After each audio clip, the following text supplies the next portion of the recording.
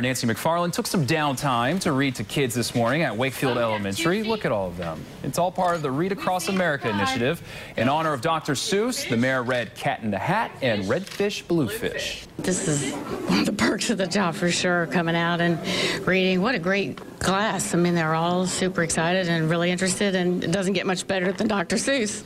No, that's right. Read Across America began in 1998. Research shows kids who spend more time reading do better in school. That's something you got to believe. Yeah. yeah, I definitely believe that for sure. It's an